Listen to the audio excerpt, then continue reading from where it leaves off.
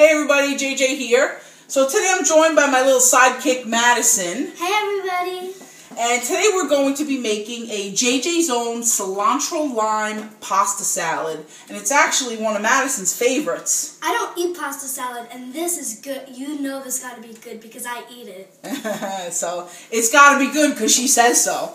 So, okay, first we're going to start with a pound of elbows. Cook the elbows, uh, just what the package says.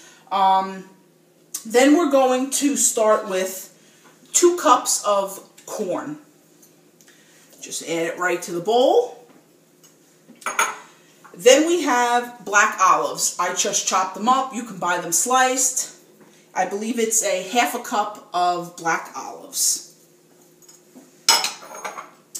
Then we have one small red onion, which is finely chopped.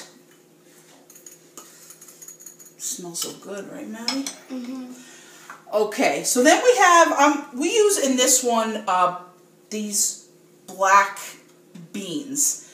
Now, if you're going to use beans, you can use any kind. You can use garbanzo, you can use kidney, but it, it is a 15 ounce can. And if you're going to use a can, just make sure you wash and rinse them. And then we have six Roma tomatoes, which I just diced up real small. Mm-hmm. Then we have three scallions, just chopped up real fine. Mm. If you could only smell that, it smells so delicious. Okay, then about a quarter of a cup of fresh cilantro. Even though there's cilantro in the bottle, we like to just add a little bit of fresh cilantro to the bowl. Then here comes the superstar of the show. I thought you were the star of the show. that was a good one, Maddie. See, she knows.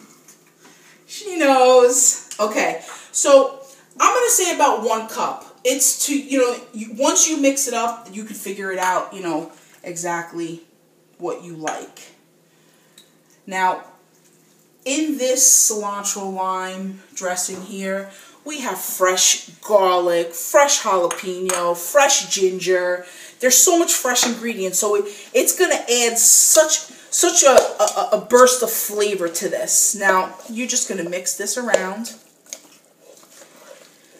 and Oh my god. It is, it's delicious. Smells so good.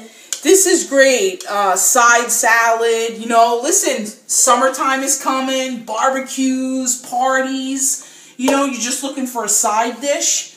This is absolutely delicious. Mm. So, I think we better try this. What do you think, Maddie? Yes, definitely. Okay. Let's see. Mm. And please, let me remind you guys, go to jjzone.com. JJ Zone is going live soon. So for everybody out there that hasn't been able to purchase the product, you guys are finally going to be able to purchase. I'm so excited. It's definitely coming soon. So please go to jjzone.com, put in your email, go to your email address, and subscribe. All right, Maddie. Let's do this. Even though we already know how delicious. Mm-hmm. Cheers. Cheers. Mmm.